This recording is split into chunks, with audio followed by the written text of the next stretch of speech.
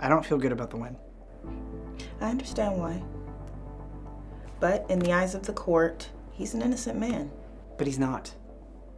The prosecutor's evidence clearly shows that he shot that kid. And now he's back on the streets again because we used every tricky loophole in the book. And for what? To win the case. And we did. And not only that, we won big. If you don't mind me being frank, I can't sleep at night. I don't feel good about this. I mean, the guy was laughing on his way out. I'll be frank as well and ask, what exactly are you getting at? That maybe there's a way we can fix this. Something we could do so he doesn't get off completely scot-free. Look, I know it sounds crazy, but maybe- You work for a top firm in the state. Start acting like it. And if you can't pack your bags, It's weird. What's weird? Well, I read your statement twice. And I've seen your interview from when you first came here. Something doesn't make sense. What do you mean? Well, you said you have no idea how the fire got started. That you were out back near the pool, surfing your iPad. Right? Yeah, that's right. Then later, when Detective Hill interviewed you, you mentioned something about playing with your lighter? I did a couple of hits, yeah. And? And what? And you like lighting flies on fire because you think it's funny? I was stoned. I like to do shit like that when I'm wasted. Are you sure there isn't anything else you want to tell me? So, what if the guy who lives across the street saw you outside playing with your lighter, lighting trash on fire, walking away, and he recorded the entire thing on his phone?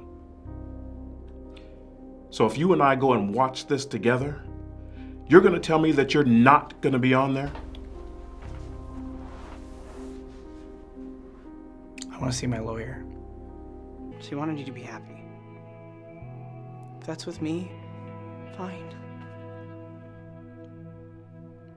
If not, it's fine too. I know you're angry. But if you're telling me that you've given up on yourself, then yeah. You should go.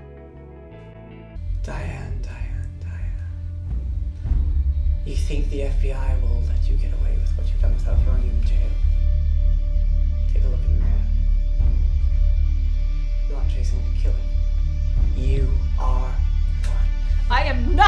like you. Sure you are.